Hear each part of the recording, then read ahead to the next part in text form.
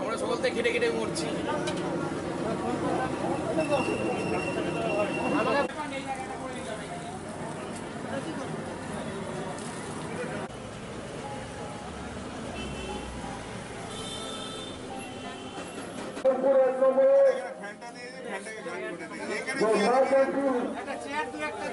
আজকে থেকে শুরু হওয়ার কথা আমরা বিপরীতের সময় আমাদের বিশিষ্ট ব্যক্তিরা উপস্থিত হয়েছেন। আমরা এখন শুরু করব। মাত্র আমাদের সামনে উপস্থিত হয়েছেন।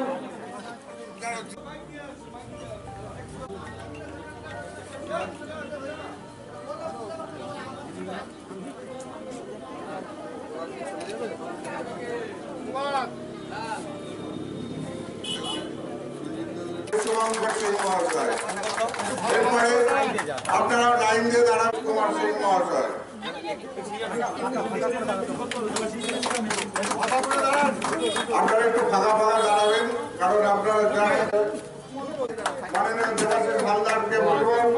একজন দুর্গত মানুষের এসে আপনারা খাবার সংগ্রহ করবেন। আমাদের যে অঞ্চল তৃণমূল কংগ্রেসের ব্লক আমরা এই ব্যাপারে শুনে নেব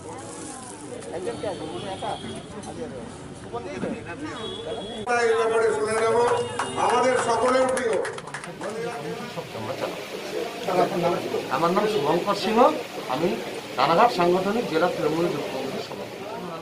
আমরা আমাদের মুখ্যমন্ত্রী মমতা বন্দ্যোপাধ্যায়, তিনি নির্বাচনে জেতার আগে তিনি ঘোষণা করেছিলেন সারা পশ্চিমবঙ্গে মা কিচেন চালু করবেন খুব সুলভে মানুষকে খাদ্যদ্রব্য তুলে দেবেন, রান্না করা খাবার, পাঁচ টাকা ভাত।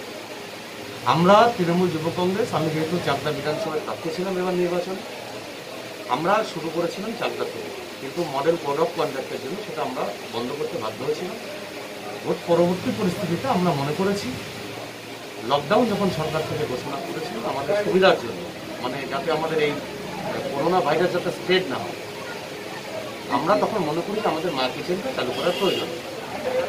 আমি বিএ প্রেসিডেন্ট এই সাংগঠনিক জেলা তৃণমূল যুব কংগ্রেসের প্রত্যেকটি জায়গায় আমরা সকলে মিলে আলোচনা করে আমরা মা কিচেন চালু করি। কল্যাণীতে দেবাশিস বসে আছে আমার পাশে। দেবাশিস কল্যাণী শহর তৃণমূল যুব কংগ্রেস সভাপতি। ও চালু করেছে কোভিড হসপিটালের সামনে। আমাদের জেএনএম হসপিটালের সামনে চালু হয়েছে। আমাদের যিনি ভাইস প্রেসিডেন্ট তিনি চালু করেছেন। আমরা কল্যাণী ব্লকে চালু করেছি, আজকে এই ইন্দিরা মোড়ে চালু করলাম। পঙ্কজ সিং আমাদের ব্লকের সভাপতি, তিনি সহযোগিতা করেছেন। আমাদের যুবক যারা কর্মী, তারা নেতৃত্ব নিয়ে করেছেন। শিকারপুরে একটা চালু হয়েছে তিলকের নেতৃত্বে।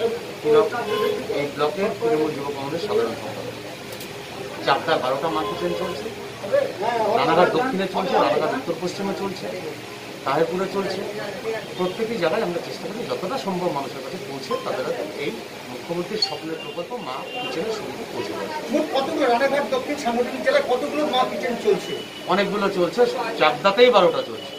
এবার আমাদের হিসেব করে বলতে হবে চাকদাতেই বারোটা আরও বাড়াচ্ছে আমরা ওয়ার্ডে ওয়ার্ডে আরও চলিয়ে নিচ্ছি। দাদা এতদিন তো আপনাকে দেখা যায়নি কি কারণে?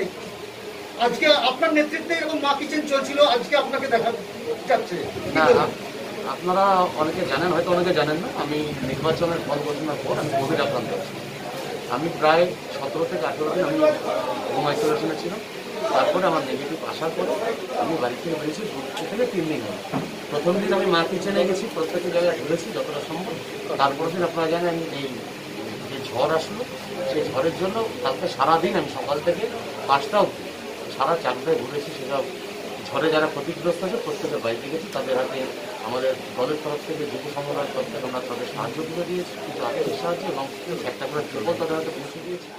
আজকে আমি এখানে